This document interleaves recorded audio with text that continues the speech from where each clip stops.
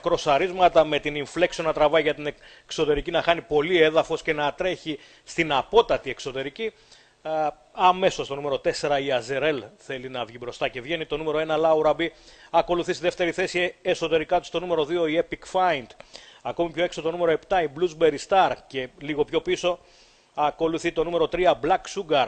Νούμερο 4 Αζερέλ και νούμερο 1 Λάουρα Μπι. Από μέσα το νούμερο 2 η Epic Find που είναι στην τρίτη θέση.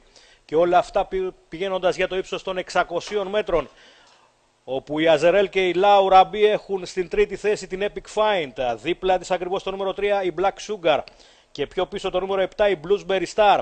Ενώ ακολουθεί το νούμερο 6 η Regal Falcon και πάμε για την ευθεία όπου η Αζερέλ θέλει να απομακρυνθεί. Στα τελευταία 400 μέτρα η Αζερέλ ανοίγει το ρυθμό. Η Λάουρα Μπι την ακολουθεί ενώ στην τρίτη θέση είναι η Epic Find. Θέλει να ανέβει και το νούμερο 6 η Regal Falcon.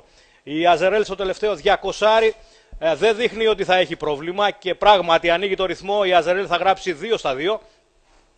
Η Λάουρα Μπι είναι στην δεύτερη θέση και έχει πολύ μεγάλη διαφορά έναντι της Regal Falcon που θα τερματίσει στην τρίτη θέση ενώ για την τέταρτη θέση η Epic Find.